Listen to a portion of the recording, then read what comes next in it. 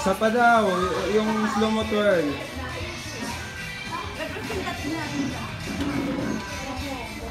Slow mo ka.